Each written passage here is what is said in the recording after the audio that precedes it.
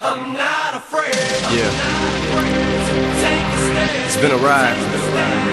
Everybody, I guess I had to go to that place to get to this one. this road together. Now, some of you might still be in that place. If you're trying to get out, just follow me. If you feel I'll get you there. You can trust.